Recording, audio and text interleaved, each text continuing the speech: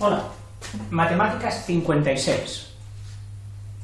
Hemos visto triángulos y cuadriláteros. En los cuadriláteros no hemos sido muy ordenados, pero creo que poco más o menos hemos abarcado casi todos. Vamos a pasar a los siguientes, a los de 5, a los de 6, a los de 7, a los de 8, etc. Solo por curiosidad. Los de 5, pues se llamarían 5 ángulos, la gente ahí se ha puesto la gafa de los ángulos para llamarles. Si llega a ponerse la gafa de lados, los habrían llamado cinco lados.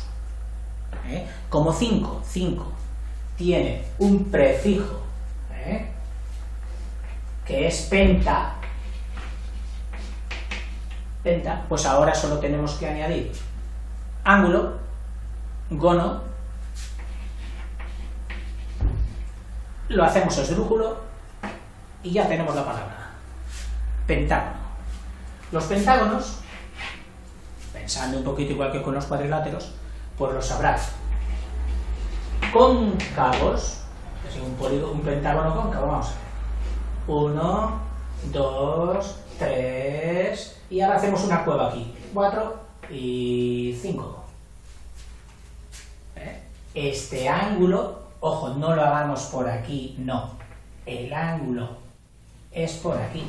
Mide más de 180, es cóncavo, queda como una boca, queda una cueva, ¿eh? y eso hace que sea una figura toda ella cóncavo, un pentágono cóncavo. El resto, convexos. Un pentágono convexo, pues 1, 2, 3, 4 y 5. La casita, 1, 2, 3, 4, 4 y 5. Estos serían pentágonos que tienen lados diferentes. Este tendría 5, este tiene aproximadamente 7, es decir, los ángulos también son diferentes. Este no mide lo mismo que este, ni lo mismo que este, ni lo mismo que este. ¿eh? Esto sería un pentágono convexo irregular, irregular, no se conforma a una regla. Ahora bien, si lográsemos un pentágono guapo, ¿eh? que se metiese perfectamente en un círculo circunscrito, ¿eh? que lográsemos hacer sus lados iguales de la misma distancia, de la misma distancia, todo el perfecto, que este ángulo midiese igual que este, igual que este, igual que este, igual que este, igual que este, y los lados todos midieran iguales, ¿eh? ese sería un pentágono regular. Hay formas de hacerlo, ¿eh? con regla, con cartabón, etc. Son un poco complicadillas, pero bueno, coges un libro, coges el Google y al momento lo resuelves. ¿eh? ¿Estos pentágonos cómo se buscaría su superficie? Pues igual que con los cuadriláteros irregulares los divides en triángulos, calculas esto y ya está. Pero si se tratara de un pentágono regular, ¿eh? pues ya podríamos abreviar, podríamos abreviar. Podríamos decir, ¿eh? si te dan el lado, imagínate que te dan el lado, que te dicen que el lado es 7, y luego te suelen dar esta altura de un triángulo, que en este caso, tratándose de una figura, ¿eh? a esta distancia que va del centro de la figura a la mitad de uno de sus lados, ¿eh? tiene un nombre especial y curioso. La llaman apotema,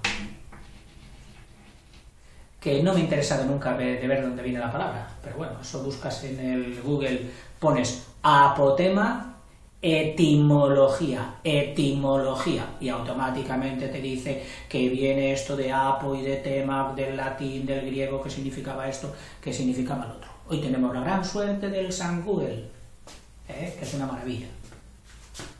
Bien, entonces, una vez que te han dado el lado y la apotema, para buscar su superficie, pues no es tan difícil. Superficie del pentágono regular, pues sería lado, que es la base de un triángulo, por altura, por apotema. partido por 2, eso sería la de un triángulo. La de un triángulo. Como tiene 5, por 5. Y esa sería la superficie de un pentágono regular. ¿Eh? Se utiliza en marcas, eh, la Chrysler, otras marcas, todas utilizan mucho el pentágono regular. ¿Les gusta? Pasemos a los de 6.